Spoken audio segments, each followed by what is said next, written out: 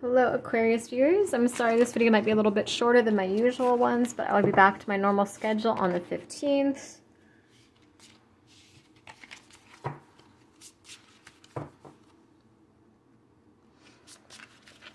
As always, if you want a private reading, just email me. My email is below in the description box, right below this video. So you can just copy and paste it. The email is dragonenchantress at AOL.com. So we've got I'm damaged and I don't know how to open my heart again. I'm detached from the karmic. I'm planning out a way to finally end things with them. So there could have been like a messy divorce or like a just some kind of third party situation or some kind of ex from the past that really damaged them. They haven't fully really healed from that yet. I'm waiting for you to give me a clear opening. I don't know how you feel. I want clarity and certainty before I reach out. Thought about going on vacation with you. So it feels like this person has a lot of stress right now. Like they're they have like maybe like a busy schedule and I feel like they just want a break. They just want alone time with you. You know, I'm afraid of getting hurt, but I'm willing to take a leap of faith for you. I just get this strong sense just channeling that this person, it's, it's like you feel like they're safe space. Like they feel very open with you. Like they feel very, um, just vulnerable with you. It's, it's almost like they just dream about you and fantasize about you and they just it's like they feel alone around most people, but they feel very close to you. They don't feel, you're one of the few people that they don't feel alone around, is the energy that I get. I want to be open, honest, and vulnerable. I want to tell you my secrets. See? I feel like this person just, feel like this person just went through something harsh, or maybe they're just going through a phase where they're being called to do shadow work. Like maybe they just have a lot of um, past traumas, you know, especially when it comes to love and romance. Maybe they have a lot of past traumas that are resurfacing right now.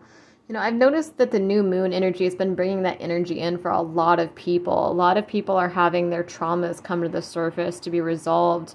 Lots of people are ending old karmic cycles right now. And, you know, sometimes that's a beautiful thing. It's amazing. But sometimes it can get messy, you know real healing is it's not always pretty you know it's it's emotional it's messy um it's definitely not all love and light you know what i mean like real healing can you know sometimes people have to go through a dark phase to to come out on the other side and get through it so it feels like this person is just kind of feels like they're kind of starting to break down i just get a lot of emotion from them like they're just they're going through a healing process is what I'm getting. And they really just want you there with them through that. There's no one like you. I realize now I will not be able to find a love like ours with somebody else. Sometimes I cry over you. Yeah, because I do get the energy. Like, I feel like they're really going through a healing process. Like, they're really crying right now. They're really emotional over you. They're very nostalgic. Like, I feel like this person might be going through a dark night of the soul. You know, because I feel like they've like they've either just come out of a bad relationship or they're just maybe they're being triggered for some reason. Some of them might be drinking or using substances, and some of them might be kind of triggered and um you know, thinking about the past is what I'm getting here. I feel like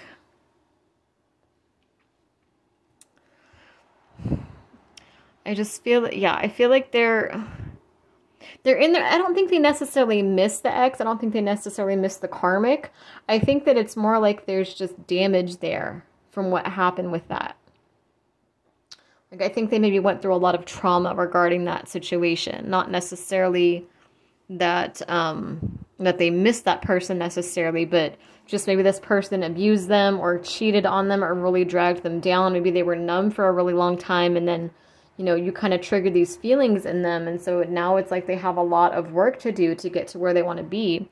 But I feel like, you know, their love for you and this connection with you, it's like you've started a healing process in them. So they're more emotional and they're more vulnerable than they used to be. Because I just get them doing a lot of like healing work right now. Like they're really, they're really emotional. They're really sensitive right now. I do feel like they do cry over you sometimes some of them just, it's like they want you there, but they're so, vulnerable and sensitive right now that I feel like they don't know how to reach out because they feel like if you reject them, it's like they just can't really handle it right now. Like they're in kind of like a dark emotional place. Um, and they're just so fragile right now that I just feel like some of them feel like they can't reach out because it's like you're you know the thought of you it's it's almost like a goal that they have like they want to get through this for you and with you it's like they want to do the healing. They want to be a better person. You know, I want to be your hero, your warrior, your protector, your everything. You bring out that side of me. Like you really motivate them to to be a better person, to do better, to be successful. But I just feel like some of them are um it's like they're holding on to that dream of you. It's like it's motivating them to make these these major life changes and I feel like I just feel like so much nostalgia from them. And I just feel like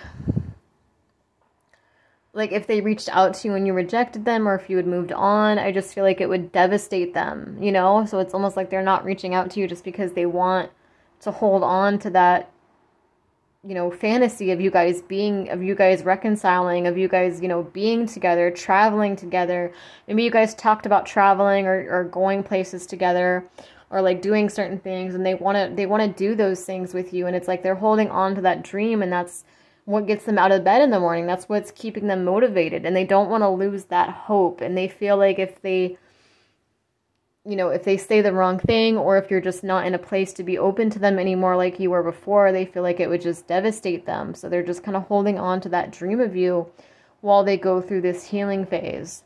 So, um, so if you guys do talk, please, please be kind of sensitive with this person. They are very fragile right now. Um, as always, if you want me to go more in depth into this, if you want me to look into your specific situation, just, you know, send me a message. Just send me an email and I can do a private reading for you. Please like, share, subscribe, comment. I appreciate you guys so much. And I really appreciate any donations too. My donation links are below. Thank you for watching.